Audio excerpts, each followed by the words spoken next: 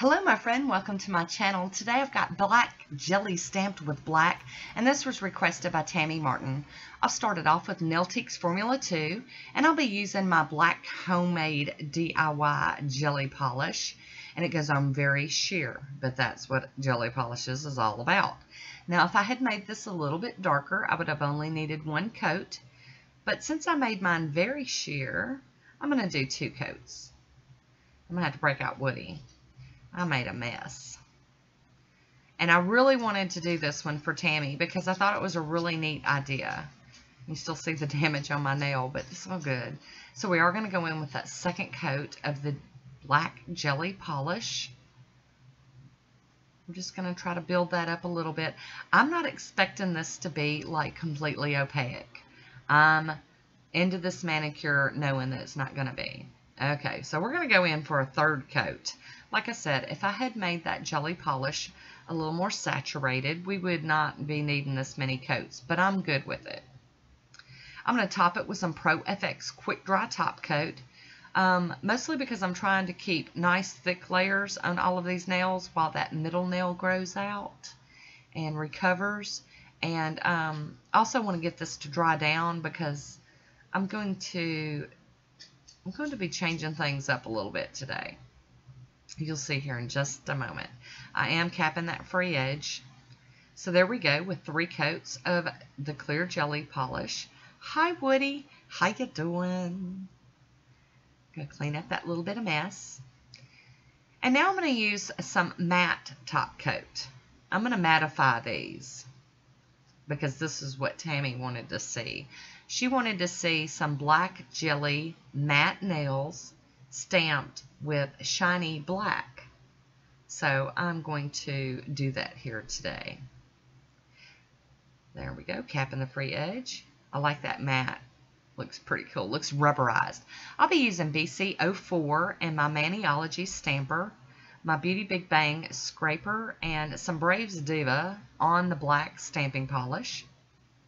And I'm going to use this, like, excuse me, fan image today. I was really drawn to this image for some reason. So we're going to plop this on the nails. There we go. We got some shiny black stamping going on there. We're going to do this on all of my nails. I'm actually still wearing this. Let me see. How many days has it been?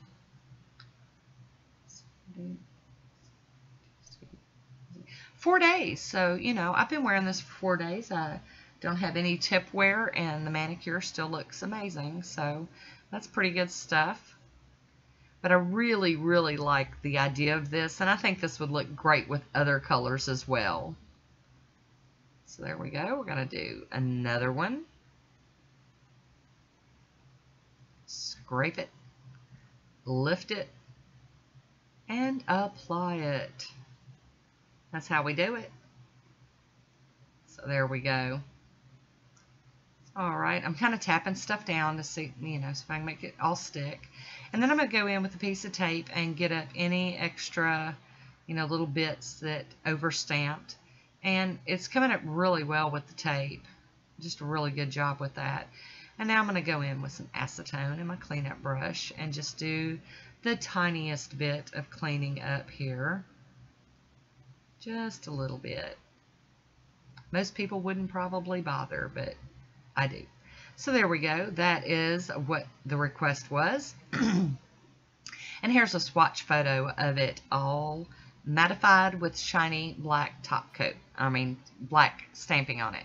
And now I'm going to top it with some Smudge Free from Bundle Monster.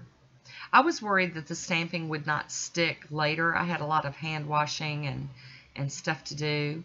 So I am topping it with my regular shiny top coats, which I know takes away from the effect. But like I said, I had a lot of um, dishes and hand washing to be doing with Thanksgiving and all. So I wanted to make sure that I didn't lose my manicure. So here is the shiny version. But I really enjoyed this one. I hope you enjoyed it also. I want to thank you for watching. And until next time, be good to yourself. Talk to you soon.